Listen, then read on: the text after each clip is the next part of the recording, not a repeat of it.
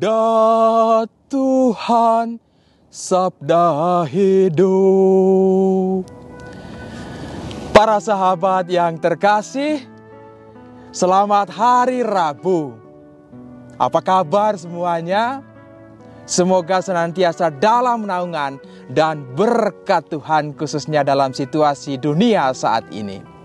Apa pun keadaan kita, sabda hidup kembali menyapa hati kita Hari ini diambil dari Injil Yohanes bab 6 ayat 35 sampai 40. Di rumah ibadat di Kapernaum, Yesus berkata kepada orang banyak, "Akulah roti hidup. Barang siapa datang kepadaku, ia tidak akan lapar lagi." Dan barang siapa percaya kepadaku, ia tidak akan haus lagi. Tetapi aku telah berkata kepadamu, sungguh pun kamu telah melihat aku, kamu tidak akan percaya. Semua yang diberikan Bapa kepadaku akan datang kepadaku. Dan barang siapa datang kepadaku, ia tidak akan kubuang. Sebab aku telah turun dari surga, bukan untuk melakukan kehendakku, tetapi untuk melakukan kehendak dia yang telah mengutus aku. Dan inilah kehendak dia yang telah mengutus aku, yaitu supaya dari semua yang telah diberikannya kepadaku, jangan ada yang hilang tetapi supaya kubangkitkan pada akhir zaman. Sebab inilah kehendak Bapakku, yaitu supaya setiap orang yang melihat anak dan yang percaya kepadanya beroleh hidup yang kekal, dan supaya aku membangkitkannya pada akhir zaman. Para sahabat yang terkasih, pada kodratnya manusia itu itu punya rasa lapar dan haus. Wah, apalagi kalau udah lama tidak makan makanan yang enak. Begitu ke restoran atau di rumah, wah dimasakin masakan yang enak itu. Wah, perut ini seperti keroncong bunyinya. Lapar, lapar, lapar. Atau dengan cuaca seperti ini, wah panas hari ini Pinginnya itu mau minum. Minuman yang dingin lagi. Supaya lega rasanya. Nah ini kebutuhan kita sebagai manusia. Sebagai manusia rohani, orang-orang Katolik di dalam Ekaristi atau Misa itu rindu sekali untuk menerima tubuh dan darah Tuhan. Roti itu berubah menjadi tubuh Tuhan Anggur itu berubah menjadi darah Tuhan. Substansinya berubah ketika konsekrasio.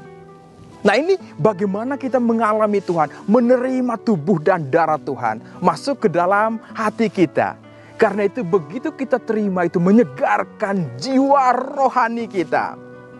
Tentu eh, ada halangan untuk menerima komuni, Ada yang satu tahun tidak terima komuni. 10 tahun bahkan berpuluh-puluh tahun rindu sekali.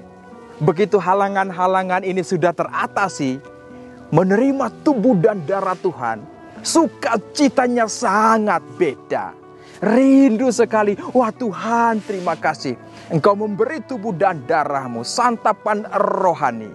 Tentu tidak untuk buat perut kita kenyang, tetapi itu adalah kehidupan kekal yang kita siapkan saat ini. Karena itu bagaimana para sahabat yang terkasih. Dalam Injil hari ini. Yesus berkata, aku adalah roti hidup. Barang siapa datang kepadaku, dia tidak akan lapar lagi. Barang siapa yang percaya kepadaku, dia tidak akan haus lagi. Ini pernyataan diri Tuhan. Dia menyediakan santapan rohani bagi kita. Di meja Ekaristi itu, dalam persekutuan di gereja, kita menjadi saudara dan saudari seiman. Wah, menerima Tuhan tidak hanya masuk di dalam diri kita, tetapi menyatu. Karena itu, Rasul Paulus kepada jemaat di Galatia sangat jelas sekali bab 2 ayat 20. Kemudian dia berkata, "Aku hidup, bukan aku lagi yang hidup, tetapi Kristus yang hidup di dalam aku." Saya punya pengalaman dengan umat perantau di sini. Bagaimana Kristus itu hidup di dalam diri dia. Hidupnya merantau di Hong Kong. Pertama itu tidak mudah. Kerja itu tidak mudah, susahnya. Pagi, siang, malam, bahkan dia lembur kerjanya. Kemudian dia menikah dengan orang sini. Dan dia bekerja di restoran itu tidak mudah. Pekerjaannya itu sangat-sangat sibuk. Dan beberapa tahun dia tidak ke gereja karena tidak punya waktu. Tentu dia berdoa di rumah. Dan dia rindu sekali untuk berjumpa dengan Tuhan dalam Ekaristi. Kemudian sebuah pengalaman yang membuat dia kembali untuk merasakan Ekaristi. Walaupun dia tidak terima tubuh dan darah Tuhan. Karena pernikahan. Tetapi kemudian kerinduan ini menghantar dia bagaimana Kristus itu hidup di dalam dia. Kemudian dalam pelayanan yang sangat-sangat praktis. Dari situ dia melayani setiap orang. Setelah selesai kerja di rumah, dia pergi ke mana-mana. Siang, malam, membantu orang, membantu sesama perantau. Berkunjung ke rumah sakit, lalu kemudian di shelter, tempat penampungan, dan kemudian ada teman-teman yang mengalami masalah dia hadir di sana. Yang menarik bahwa ketika kita tanya, Loh mengapa kamu memberikan waktumu, hidupmu untuk seperti ini padahal ya kamu tidak mendapat apa-apa. Lalu dia katakan demikian, Romo, hidup saya itu adalah Kristus di dalam diri saya. Karena saya merasakan bagaimana dia menjamah saya. Dia menjamah saya itu sudah lama sekali. Luar biasa caranya. Saya sakit, dia datang menguatkan saya. Saya hampir di persimpangan jalan, dia datang menyegarkan jiwa saya. Sehingga saya sekarang itu mau memberi diri kepada gereja dalam pelayanan. Apa pun pelayanan itu, situasi apa pun saya mau. Walaupun saya fisik saya sakit, saya mau melayani Tuhan. Karena Tuhan itu begitu baik dalam perjalanan hidup saya. Kemudian saudari kami ini menjadi inspirasi bagi yang lain dalam hal melayani. Yang kecil sampai yang besar untuk urusan masalah pekerja migran, masalah legalnya dia urus sampai ke mana-mana. Inilah sebuah kekuatan jiwa bagaimana dia melihat Ekaristi ini. Dia rindu sekali untuk menerima tubuh Tuhan. Tetapi karena ya aturan perkawinan belum memungkinkan. Tetapi dia sudah merasakan bagaimana roti itu. Dia hidup bukan dirinya sendiri lagi yang hidup, melainkan Kristus yang hidup di dalam dia. Sehingga dengan penuh sukacita, walaupun fisiknya sakit kadang-kadang karena situasi kesehatan, tetapi dia pergi ke mana-mana melayani. Para sahabat yang terkasih, menarik sekali apa yang dikatakan Tuhan hari ini.